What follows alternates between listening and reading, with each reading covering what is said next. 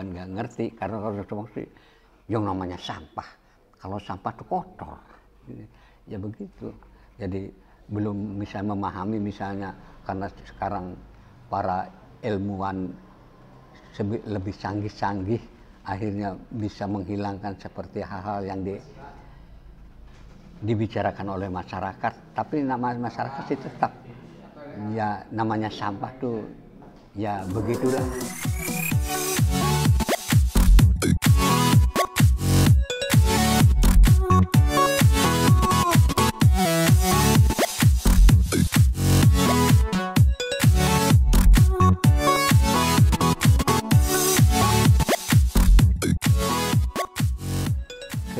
dampak kenyamanan itu akhirnya tuh menyesatkan masyarakat. Kalau misalnya nyaman masyarakat jangan berkunjung.